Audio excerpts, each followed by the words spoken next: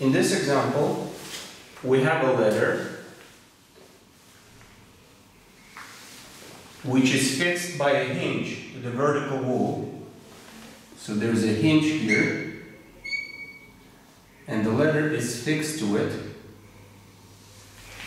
So let's say this is point B, and this is point A. At point A, the letter simply rests on the floor.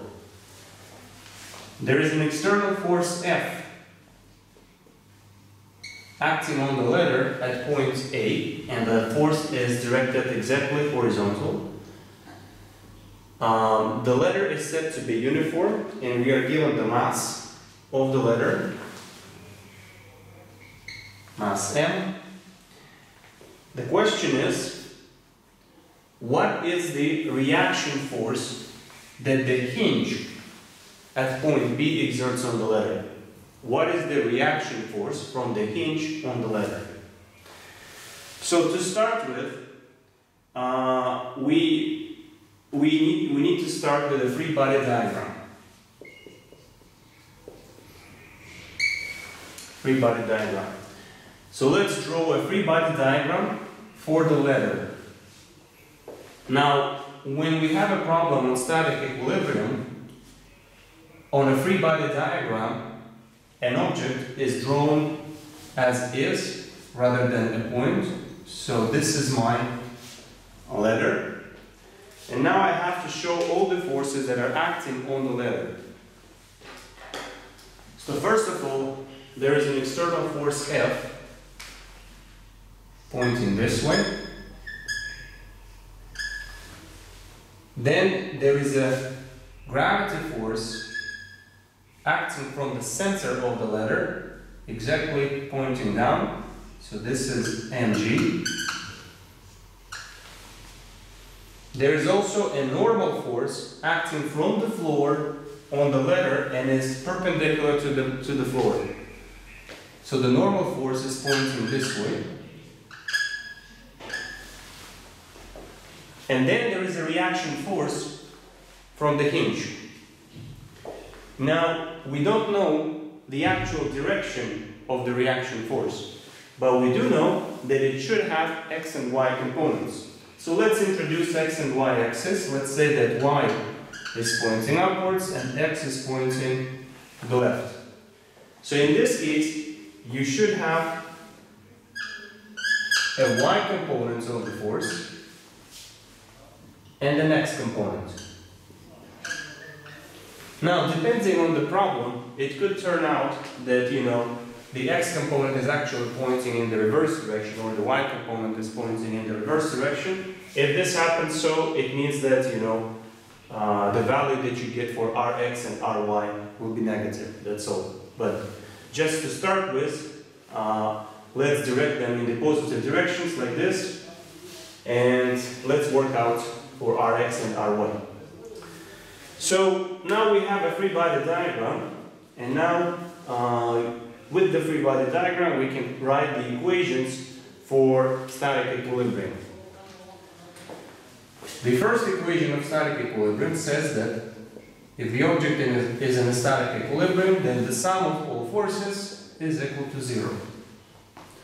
So this means that sum of all forces in the x direction and in the y direction add up to add up to zero. So let's look at the x direction first. In the x direction, we only, we only have two forces, F and Rx.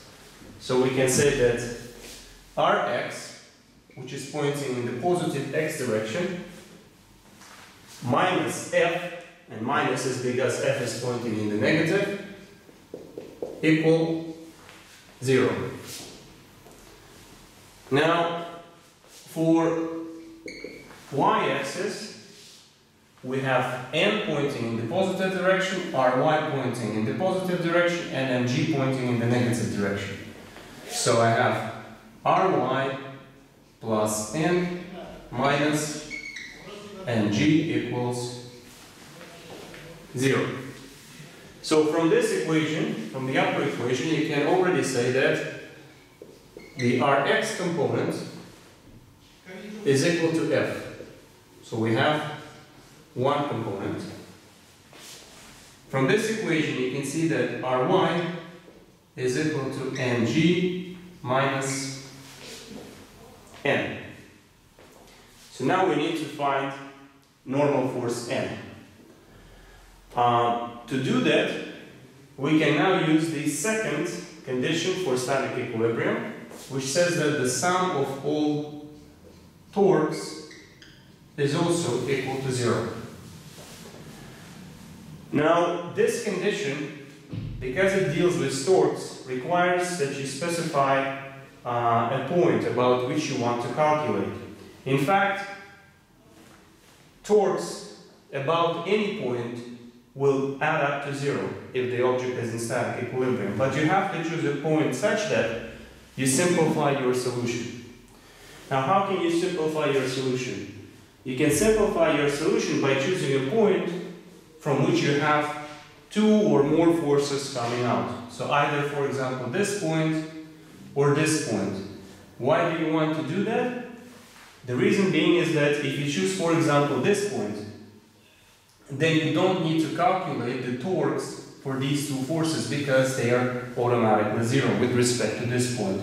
Similarly, if you choose this point, you don't need to calculate the torques created by these two forces because these two forces with respect to this point have zero torque. And which point you choose, again, is up to you.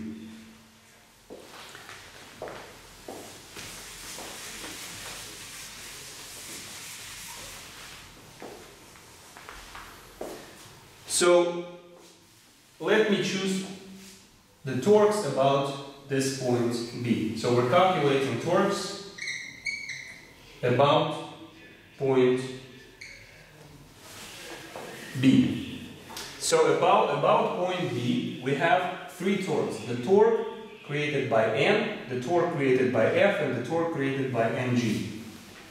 So the torque created by N, torque created by F, and the torque created by mg. To get rid of the vectors, we first need to define the positive direction. To define the positive direction, you just use your right hand. So if the force is trying to move, to rotate the uh, letter uh, in a counterclockwise direction, the direction of your thumb will point the, into the positive direction. So in this case, the positive direction is out of the board. So we choose out of, we choose out of the board direction as positive. We choose the out, outside direction as positive. So now let's find the direction of each of these torques. So for example, let's look at N. N is trying to rotate the letter in a clockwise direction. So using your right hand rule, if you direct your fingers in the clockwise direction, your thumb will be pointing into the board. So the torque created by normal force with respect to point B is pointing into the board. The torques created by F and mg, you can try it for yourself, are pointing out of the board. So if we have chosen the out of the board direction as positive, it means that this will be negative, so minus Tn TF is positive and mg is also positive. So now we need to find the magnitude of this torques. Well, the easiest way is, for example, let's start with the normal, is to draw the line of action of the force. So this is our line of action. and then drop a perpendicular from the pivot point to the line of action. So we drop a perpendicular like this. This is called the arm. The arm is equal to, if you, if you say that this angle here is, for example, theta, and this angle is theta, and if the length of the letter is equal to L, then the arm is equal to L cosine theta. So you will say that torque is equal to force M times L cosine theta. What about F? The line of action for the force F is this line. If you drop a perpendicular from, from the pivot point, this will be the arm. To calculate for the arm, you multiply L times sine theta.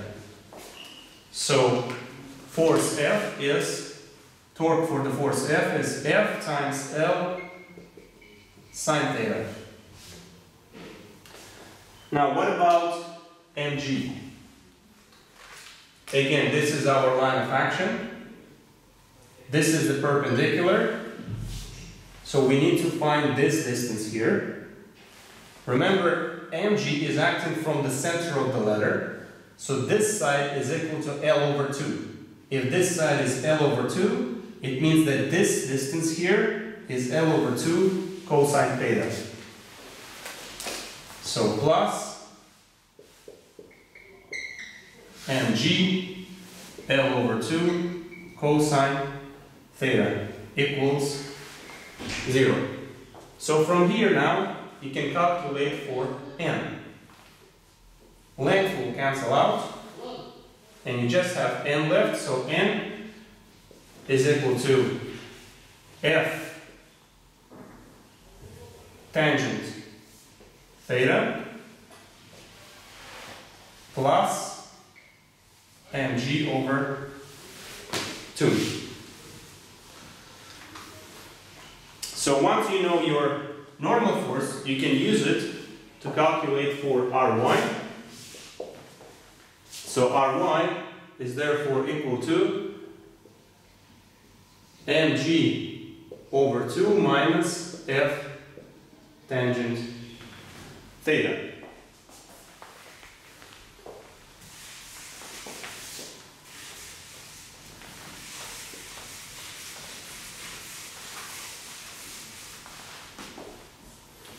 Now in the problem, we are given dimensions, we are given that this side is equal to 4 meters, and the length of the letter is equal to 5 meters. If this is 5 and this is 4 from the Pythagorean theorem, this has to be equal to 3 meters. If so, then tangent of theta is equal to opposite over adjacent, so 4 over 3.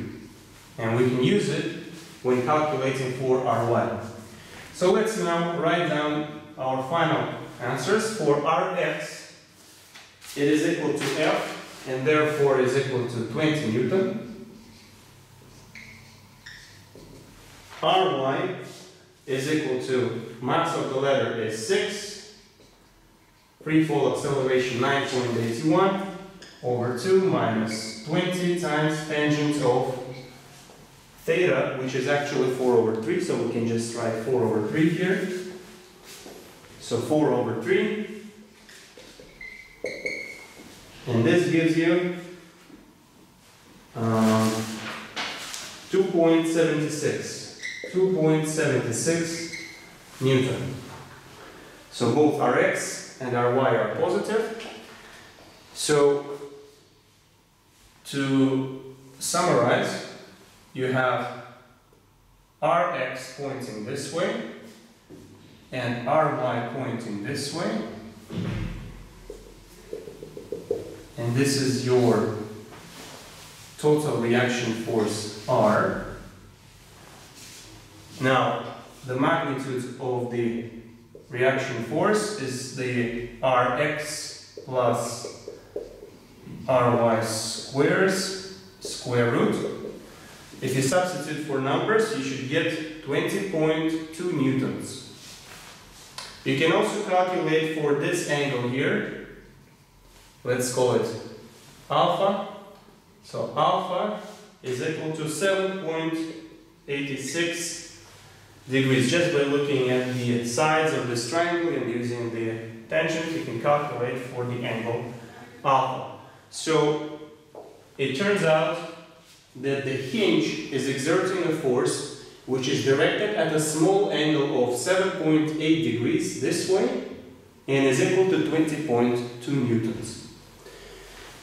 And also please remember that when you have something which is fixed to a hinge, like here, the force that is exerted by the hinge on the ladder is not necessarily perpendicular, as for example the normal is, and is not necessarily along the ladder, which uh, sometimes students think.